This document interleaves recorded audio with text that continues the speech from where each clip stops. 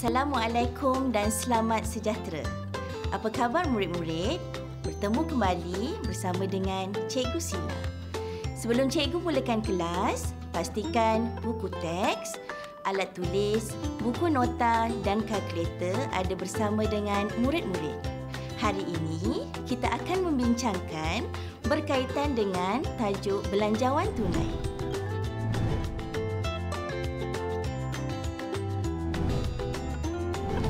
Dalam modul ini, murid boleh pertama, menerangkan kepentingan belanjawan tunai. Kedua, menerangkan maksud penerimaan dan pembayaran. Seterusnya, murid boleh menerangkan maksud, lebihan dan kurangan. Selain itu, murid juga boleh menerangkan maksud penerimaan sebenar melebihi penerimaan yang dijangka dan sebaliknya. Begitu juga, murid boleh menerangkan maksud pembayaran sebenar melebihi pembayaran yang dijangka dan sebaliknya. Selepas telah mengetahui semua perkara di atas, barulah murid boleh melakar format belanjawan tunai dan mengenal pasti butiran penerimaan dan pembayaran. Akhirnya, barulah murid boleh menyediakan belanjawan tunai yang lengkap. Apakah belanjawan tunai, murid-murid?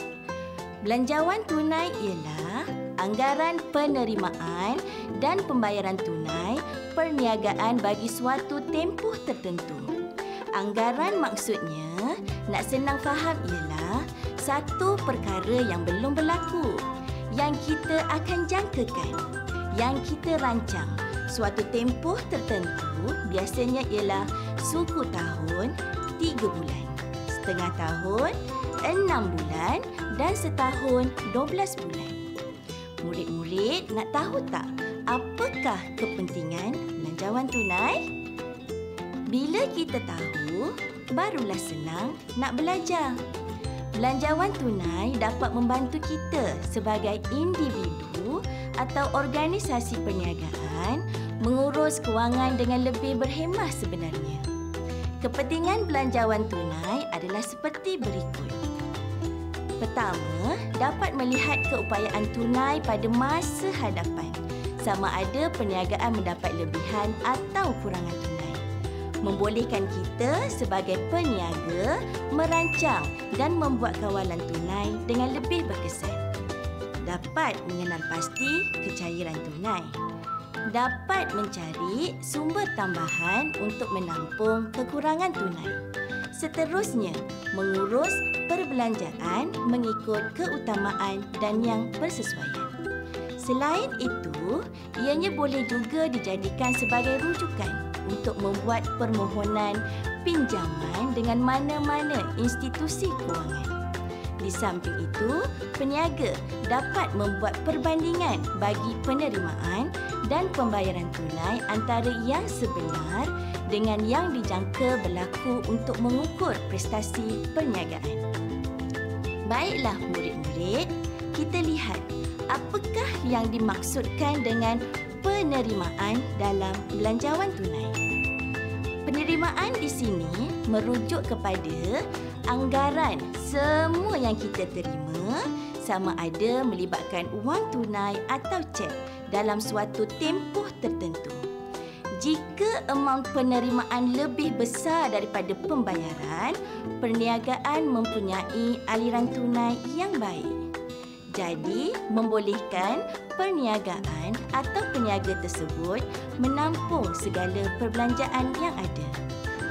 Contoh penerimaan ialah modal yang dibawa masuk, jualan tunai, jualan aset bukan semasa secara tunai, kutipan hutang daripada akaun belum terima, penerimaan masuk pinjaman dan hasil bukan operasi seperti faedah atas simpanan dan faedah kelewatan bayaran oleh penghutang.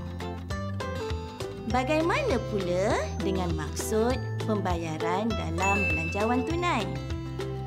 Pembayaran dalam belanjawan ialah anggaran semua pembayaran yang kita keluarkan sama ada menggunakan tunai atau cek dalam suatu tempoh tertentu. Pembayaran ini dilakukan untuk menampung aktiviti sesuatu perniagaan agar dapat berjalan dengan lancar. Contohnya, belian tunai, bayaran kepada pembekal, bayaran atas belanja operasi, bayaran balik pinjaman atau ansuran pinjaman, beli aset bukan semasa secara tunai. Baiklah murid-murid, sekarang cikgu akan terangkan pula berkaitan dengan lebihan dan kurangan. Dalam belanjawan tunai, lebihan bermaksud jumlah penerimaan tunai melebihi daripada jumlah pembayaran tunai. Ini menunjukkan perniagaan mempunyai struktur kewangan yang mantap. Contohnya, jumlah penerimaan ialah RM100,000 manakala jumlah pembayaran RM30,000. Jadi, lebihan yang diperoleh ialah RM70,000 iaitu RM100,000 tolak dengan RM30,000. Apa yang murid-murid nak buat dengan lebihan tunai ini? Cuba fikirkan. Seterusnya murid-murid, apakah pula yang dimaksudkan dengan kurangan dalam belanjawan tunai? Kurangan pula bermaksud jumlah pembayaran tunai melebihi daripada jumlah penerimaan tunai. Apabila berlakunya kurangan, perniagaan perlu mencari cara atau alternatif untuk menampung kurangan tersebut. Alternatif yang boleh digunakan ialah pertama, meningkatkan jualan. Seterusnya, mengurangkan perbelanjaan perniagaan. Dan jika perlu membuat pinjaman daripada institusi kewangan. Bagaimana sekarang murid-murid? Semakin jelas kan apa yang dimaksudkan dengan penerimaan, pembayaran, lebihan dan kurangan dalam belanjawan tunai.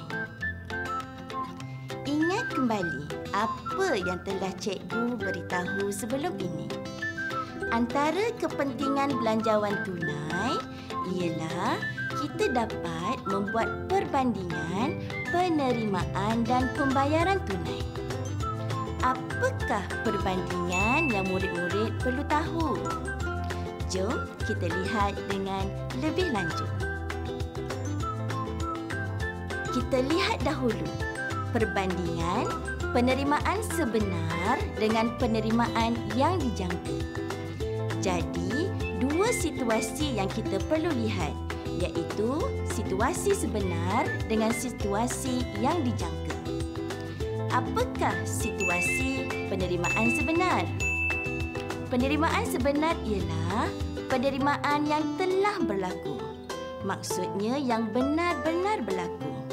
Manakala pula, apakah situasi penerimaan yang dijangka? Inilah penerimaan yang kita senaraikan dalam belanjawan tunai. Prestasi perniagaan adalah memuaskan jika penerimaan sebenar melebihi penerimaan yang dijangka. Prestasi perniagaan adalah tidak memuaskan jika penerimaan sebenar kurang daripada penerimaan yang dijangka. Atau dengan kata lain, penerimaan yang dijangka melebihi daripada penerimaan sebenar. Bagaimana pula perbandingan bagi pembayaran sebenar dan pembayaran yang dijangka? Jom kita lihat. Fahamkan dahulu apakah situasi pembayaran sebenar? Iaitu pembayaran yang telah dilakukan. Manakala pula apakah situasi pembayaran yang dijangka? Inilah pembayaran yang kita senaraikan dalam belanjawan tunai.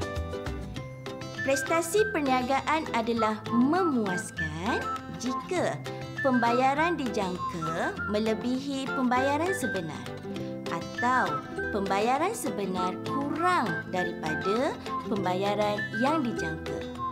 Manakala prestasi perniagaan tidak memuaskan jika pembayaran sebenar melebihi daripada pembayaran yang dijangka. Baiklah murid-murid, perkara yang berkaitan dengan belanjawan tunai telah pun kita bincangkan. Sekarang, bagaimana pula kita nak menyediakan belanjawan tunai ini? Jom kita lihat dahulu format bagi belanjawan tunai. Format belanjawan tunai adalah seperti yang ditunjukkan. Lima perkara yang mesti ada iaitu pertama, baki bibi. Kedua, komponen penerimaan. Ketiga, komponen pembayaran. Keempat, lebihan atau kurangan. Dan yang kelima, baki HB. Langkah-langkah menyediakan belanjawan tunai pula adalah seperti berikut. Nasihat cikgu, ikut langkah-langkah ini dengan betul. Sangat membantu memudahkan menyediakan belanjawan dengan betul dan tepat. Langkah pertama, mulakan dengan tentukan baki awal tunai iaitu baki BB.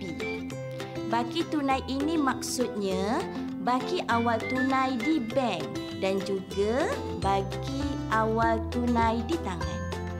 Cikgu nak murid-murid juga fahamkan, jika kita memulakan perniagaan, baki awal bermaksud tiada iaitu kosong.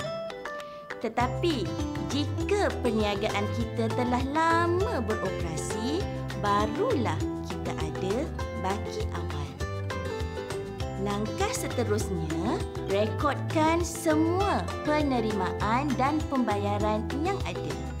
Selepas itu, jumlahkan semua penerimaan di baris jumlah penerimaan dan jumlahkan semua pembayaran di baris jumlah pembayaran ikut bulan masing-masing.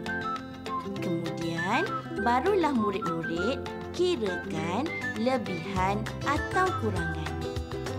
Jumlah penerimaan tolakkan dengan jumlah pembayaran ikut laju bulan masing-masing.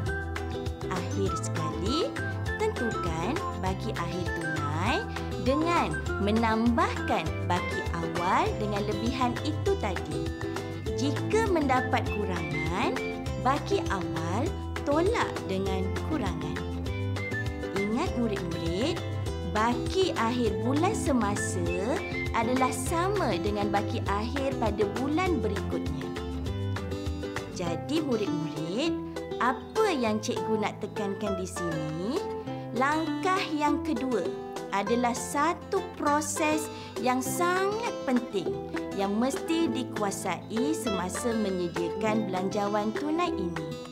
Ingat kembali perkara kedua dan ketiga iaitu komponen penerimaan dan komponen pembayaran. Apakah butiran penerimaan dan pembayaran? Butiran penerimaan ialah modal iaitu modal yang dilaburkan atau modal tambahan. Jualan iaitu merujuk kepada jualan tunai. Akaun belum terima.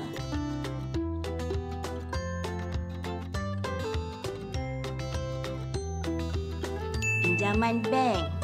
Faedah atas simpanan. Dividen komisen diterima dan sewa diterima.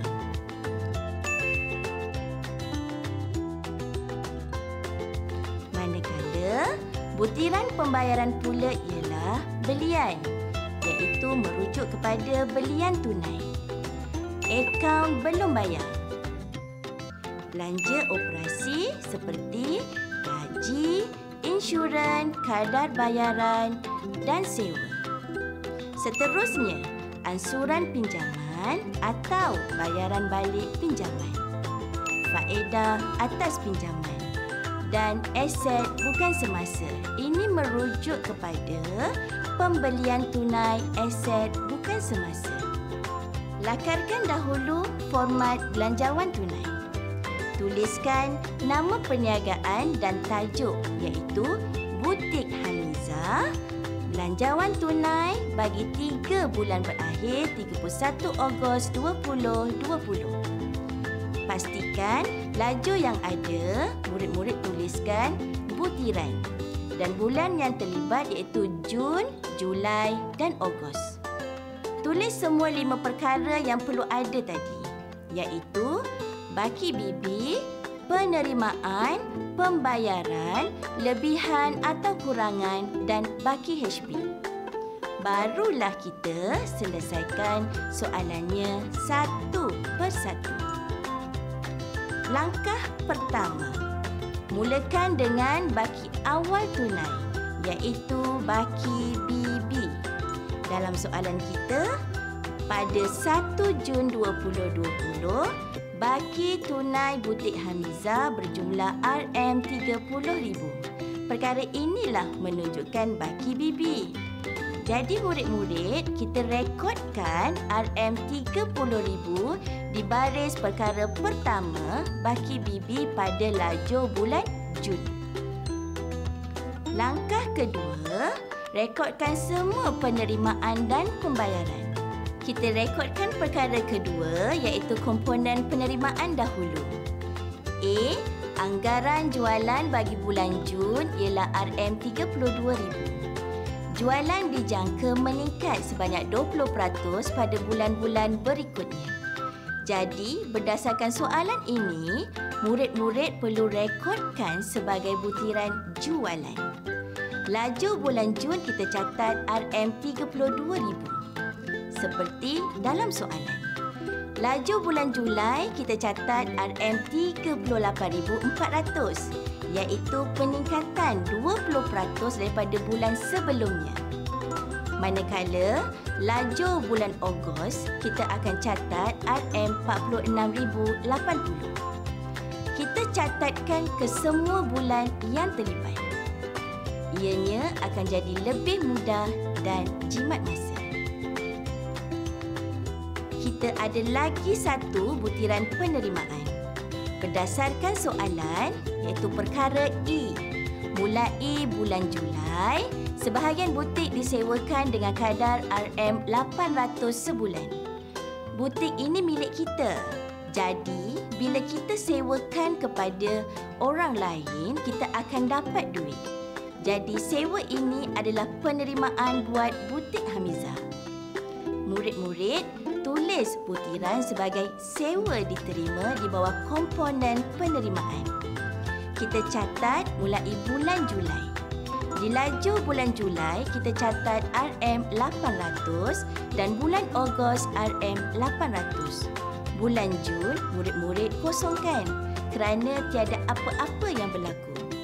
Selesai untuk butiran bagi penerimaan. Ada dua sahaja bagi soalan ini. Baiklah murid-murid, kita lihat seterusnya bagi perkara ketiga iaitu komponen pembayaran iaitu perkara B. Anggaran belian tunai bagi bulan Jun RM17,000, Julai RM22,000 dan Ogos RM27,000. Murid-murid, kita rekodkan di bahagian komponen pembayaran. Kita catat butiran sebagai belian. Catatkan saja amount tersebut di laju yang betul. Laju bulan Jun RM17,000, laju bulan Julai RM22,000 dan laju bulan Ogos RM27,000. Seterusnya, perkara C. Perabot kedai berharga RM3,300 dibeli secara tunai pada bulan Julai. Jadi kita rekodkan seterusnya sebagai butiran perabot dan tulis amountnya iaitu RM3,300 pada laju bulan Julai sahaja. Laju bulan Jun dan Ogos tiada kesan apa-apa. Jadi, kosongkan. Senang kan? Kita lihat seterusnya. Perkara D. Pada bulan Julai, Perniagaan dijangka akan mengubah suai premis dengan kos perbelanjaan berjumlah RM13,400. Sama seperti sebelum ini. Ini juga adalah butiran pembayaran iaitu belanja ubah suai premis. Jadi murid-murid catatkan sebagai belanja ubah suai premis. Tulis amount RM13,400 di laju bulan Julai saja. Laju bulan Jun dan Ogos kosongkan kerana tidak berkaitan. Maklumat terakhir dalam soalan ialah perkara F. Perbelanjaan bulanan dianggarkan seperti berikut. Gaji pekerja RM1,500, kadar bayaran RM600. Di sini ada dua butiran pembayaran. Jadi murid-murid tidak boleh sekalikan butiran tersebut kerana ianya berbeza. Gaji tak sama dengan kadar bayaran. Jadi murid-murid perlu tuliskan kedua-dua butiran gaji dan kadar bayaran seperti yang ditunjukkan. Amountnya juga adalah sama setiap bulan kerana ianya perbelanjaan bulanan. Bulan Jun, Julai dan Ogos nilainya adalah sama. Gaji pekerja bulan Jun, Julai dan Ogos RM1,500 di laju masing-masing. Dan kadar bayaran bulan Jun, Julai dan Ogos RM600 di laju masing-masing. Baiklah, murid-murid. Sekarang kita pergi ke langkah yang ketiga, iaitu menjumlahkan semua penerimaan dan pembayaran.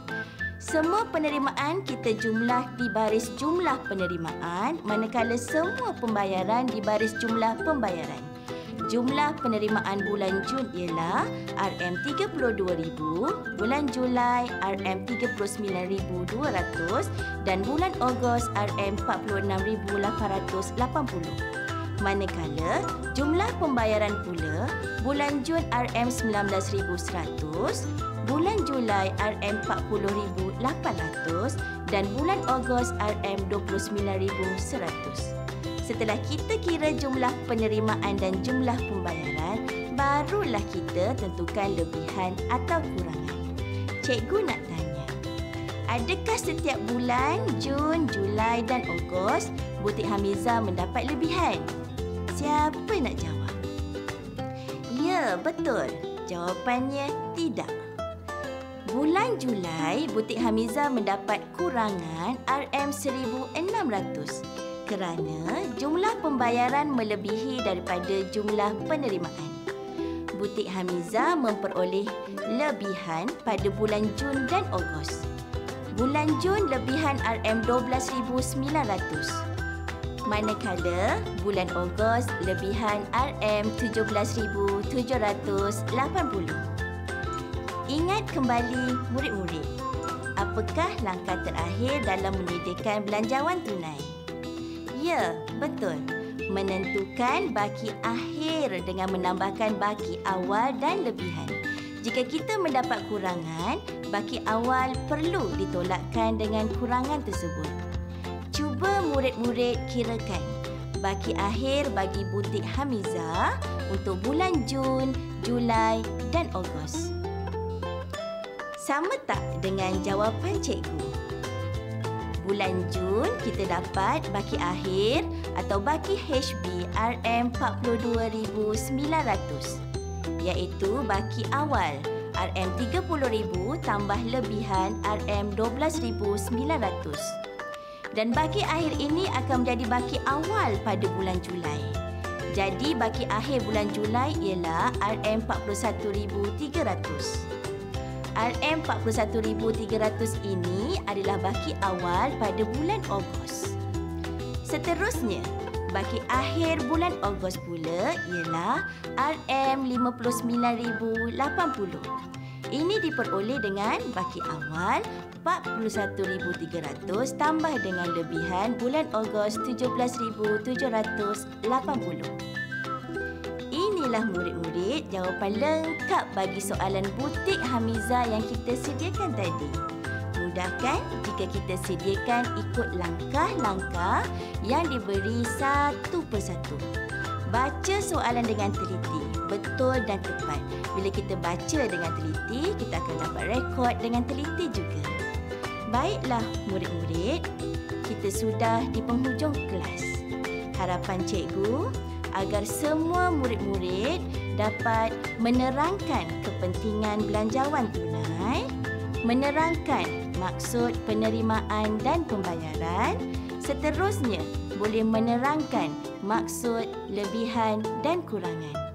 Selain itu, boleh menerangkan maksud penerimaan sebenar melebihi penerimaan yang dijangka dan sebaliknya. Begitu juga boleh menerangkan maksud pembayaran sebenar melebihi pembayaran yang dijangka dan sebaliknya. Semua murid boleh dah melakar format belanjawan tunai dan mengenal pasti butiran penerimaan dan pembayaran serta menyediakan belanjawan tunai yang lengkap. Akhir kata dari cikgu, nak pandai akaun, fahamkan setiap konsepnya dengan jelas. Ingat formatnya. Rekodkan dengan betul dan tepat. InsyaAllah, akaun pasti akan jadi lebih mudah dan senang. Jumpa lagi. Sekian. Terima kasih.